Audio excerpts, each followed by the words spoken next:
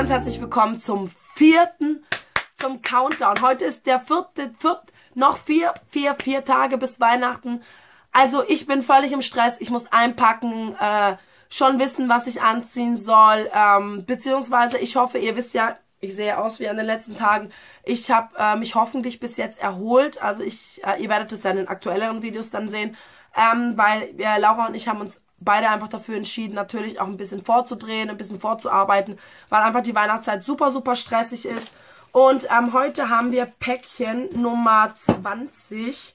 Und ich bin echt gespannt, Leute. Da steht drauf, Naschen ohne Kalorien. Gibt's das? Gibt's das? Ey, geil. Und zwar habe ich von der Laura ein Balea Handschaum Cake Pop gefunden, gekriegt. Und liebe Laura, ich habe das in der Tasche und zwar in Himbeercake Cake oder sowas mit Himbeer.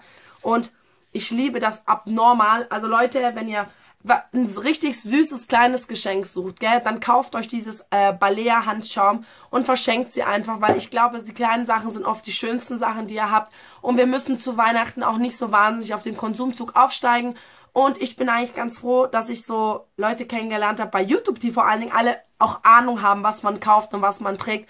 Also lieber Schatz, vielen, vielen Dank. Ich habe mich sehr gefreut darüber, weil ich brauche die halt unnormal oft in der Arbeit.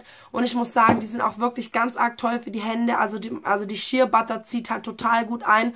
Und wie gesagt, und der Mandelduft ist abnormal schön. Wir sehen uns morgen beim Video Nummer, oh mein Gott, 21 schon. Und da haben wir auch schon den dritten Tag vor Weihnachten.